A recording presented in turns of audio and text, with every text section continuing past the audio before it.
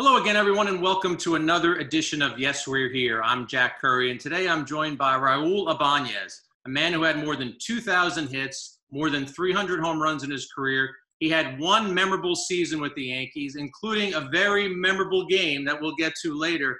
And Raul, as I welcome you into the program, the first thing I have to ask you is how are you and your family doing during these challenging times?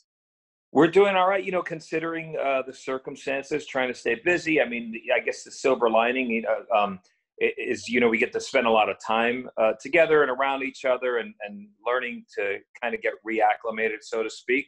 Uh, that being said, there's a lot of people suffering out in the world, and we're very aware of that. And, and uh, you know, our hearts go out to the people that are suffering and, and trying to make an impact any way we can, really.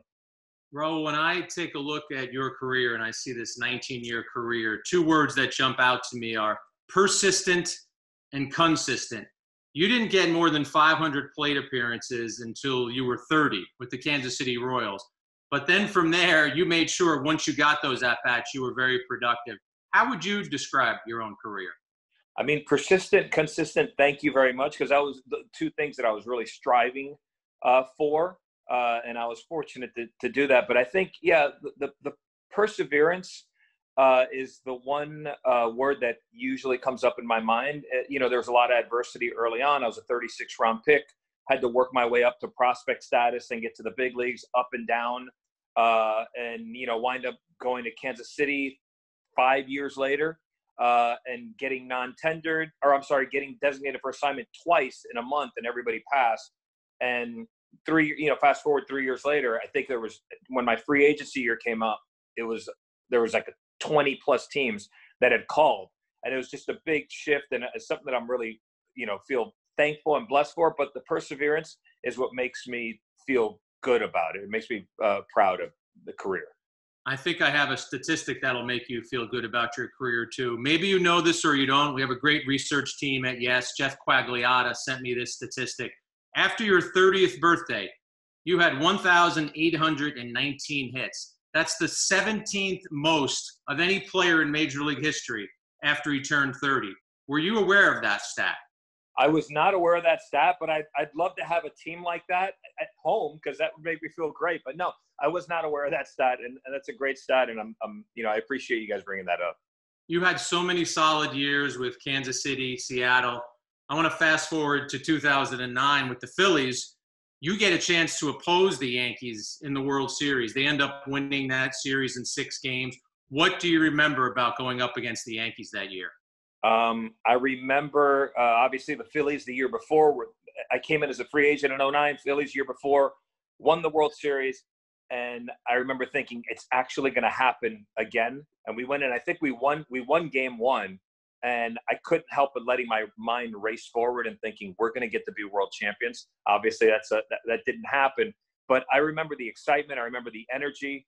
Um, I remember, you know, uh, Cliff Lee's performances, and and, uh, and then of course I remember Andy Pettitte and CC Sabathia. They did a great job. Chase Utley hit, you know, two homers. I think it was on game one. Chase Utley hit a couple homers uh, off of CC and you know away we went and then of course the yankees bounced back and, and wound up beating us. But just the excitement the energy and it was a dream come true to be a part of that uh, at that moment in time uh, but then we fell short and i remember the pain and the agony of going home and not being able to get past it for several months. Uh, it was more painful than leaving. I had been ousted in the postseason or been part of teams that had been ousted in the postseason after the first, after the second series, that was painful. Uh, but this was way more difficult, way harder to take. A few years later, you end up signing with the Yankees, 2012. You're about to turn 40. What was it about New York that was attractive to you at that point? Well, as a kid, I grew up a Yankee fan. I was born in New York. My family lived in the Bronx. Uh, we wound up moving back here as a, as a baby. I was like a year old. But um, just getting the opportunity to, to, to wear the pinstripes and, you know, guys that were my heroes growing up, guys like Reggie Jackson and you know uh, Goose Gossage and Ron Guidry. I grew up watching those guys play. Dave Winfield. So to get a, an opportunity to wear the pinstripes was uh, was such an extraordinary feeling. And uh, going into camp, it was surreal. You know, Yogi Berra's walking around. May he rest in peace. Uh, Whitey Ford. You had these great uh, Yankee legends that were walking around, and just to have been a part of it was uh, was just an, an incredible feeling.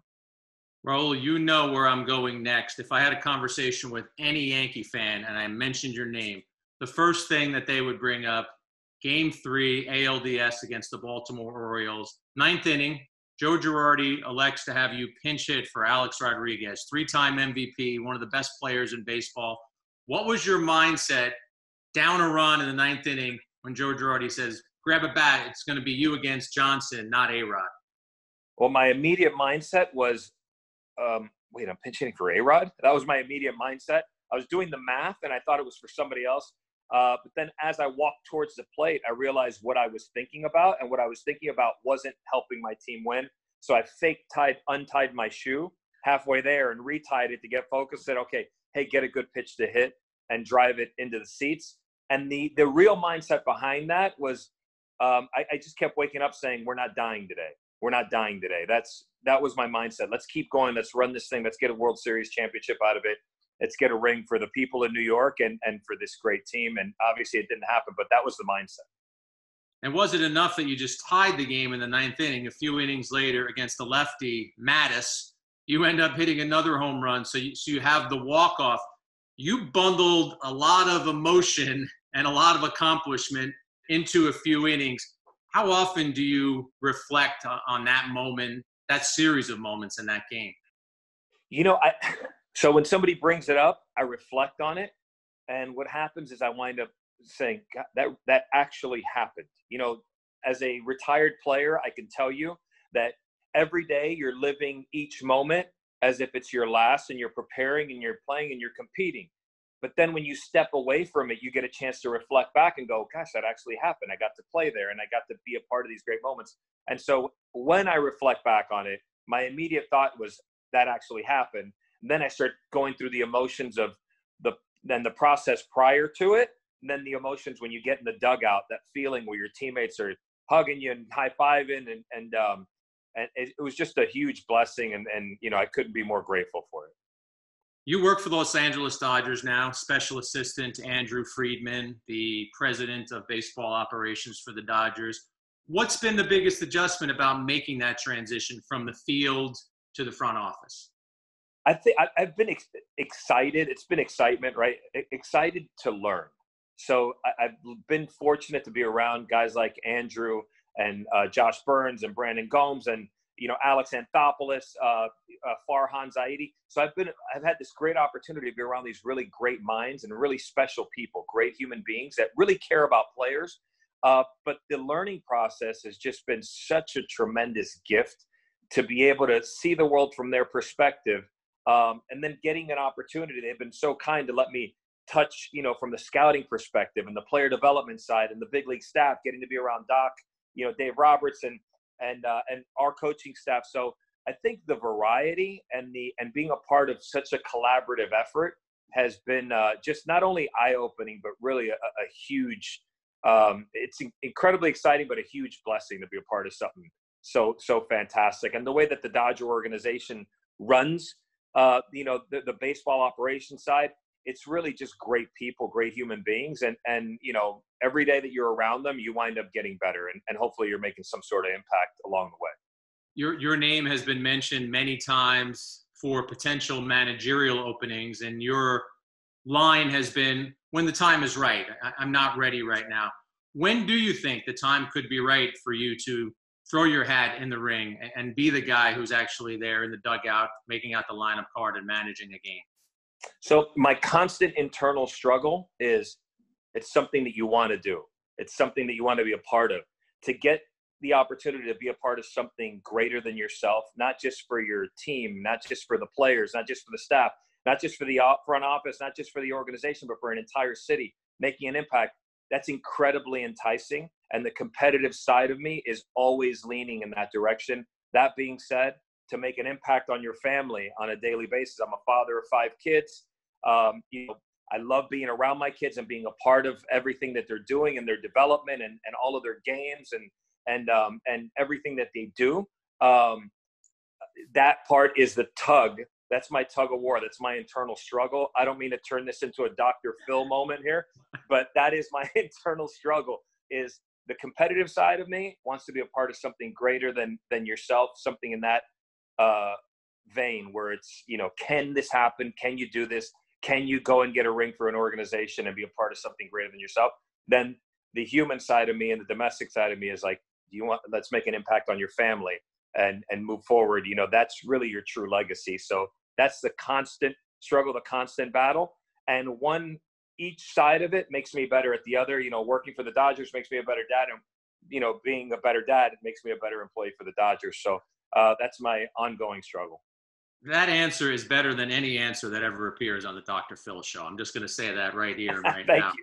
You. you. You mentioned your family. One of your children is RJ, and yeah. he's been teammates with Dante Girardi, Joe Girardi's son. Summer League Baseball. What a staff! It's you and Joe Girardi as the coach slash manager. But Joe has said previously that he let Raul handle things because he wanted you to be in the pressure spot of being the manager. What was that experience like for you guys? Yeah, well, it's more pressure when you're dealing with kids and parents than it is when you're dealing with major leaguers for sure. But the cool thing, the really cool story is, um, you know, Joe, when I was playing for the Yankees, Dante and RJ were buddies, not just in the kids' room, but they'd go and do stuff together. They even played one tournament together in New York. Uh, and so they had this friendship, this bond. They would they'd spend all this time together, and Joe would occasionally show up at my house, like ring the doorbell, and I'd open the door, and there's Joe Girardi standing at my door, and I'm like, uh, did, did I get released? And he's like, I'm here to pick up RJ. We're gonna go get some Chipotle, and we're gonna go take batting practice on the field. So what a cool experience from from just such a great manager.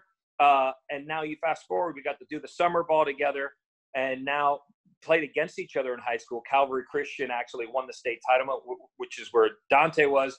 RJ was at Westminster. So they actually knocked us out of the postseason three years in a row, and they wound up moving forward.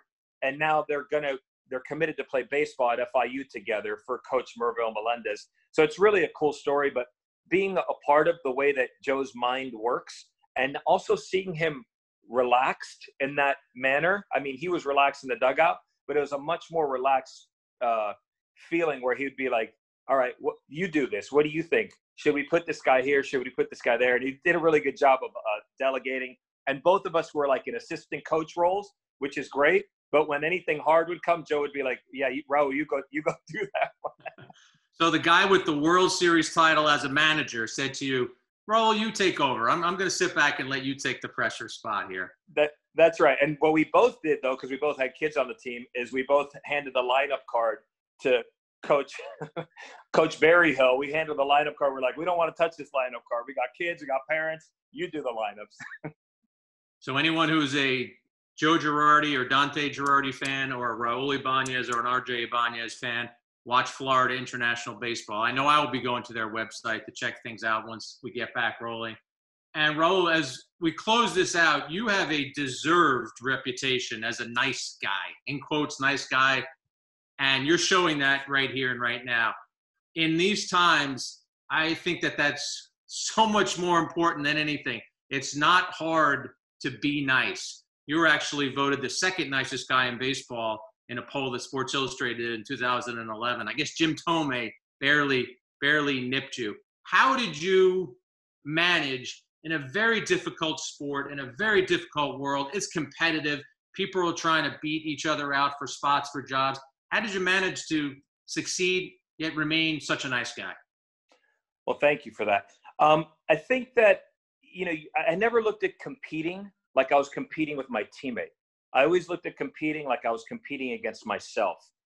And so I always thought about competing against myself, making myself the best player I can be and the best person I can be. And that included making the person next to me better, even if they played the same position or they were a young up and coming player because I knew if I did my job, I would always have a job. So making an impact on the guy next to me was equally important because it made an impact on the team and winning. And fast forward, I think that's really what it's about. If, if we flip that and we talk about in life, I, I understood that the person that opens the door for you, not only is he a human being, but he's a special human being and he's unique and he's just like you. And so it meant something to just say hello, how are you? How's your family doing? Getting to know something about their kids and their lives it made a huge impact just saying hello and taking three seconds of your day, five seconds of your day to make someone else feel um, as if they're special, which they are. And everyone is uniquely special in their own way. So I think making an impact if you have the pedestal, you have the opportunity, you've been given this this perceived pedestal by society to make an impact and make a difference. And I think you use your power for good. And a lot of times it's something as simple as, you know, somebody's in need, you do something behind the scenes for them. They don't even have to know you did it. You slip something to them, you leave it where they can see it, and you walk away. Nobody knows who did it. Um, and I think that's what we're really called to do in this life is to make an impact, make the world a better place. And and I think you're doing that. And and so many people like you with with the position that you're in are doing that. And now more than ever before, it's a great time. Let's be good to each other, wherever you're from, whoever you are, whatever the color of your skin, whatever your nationality. Be good to each other, man. It, it, it's it's not that hard to just be good to each other. To say think good thoughts and to make the world a better place and try to uplift people around you, whoever they are. Those are wise words. Those are powerful words, Raul. I could not have said it any better. Be nice to people. I think that's the headline of what you just said. And I want to thank you for being nice to us and giving us some of your time today. And I look forward to baseball being back and hopefully seeing you at a ballpark sometime soon. Great to see you, Jack. Thank you. Likewise. Thank you.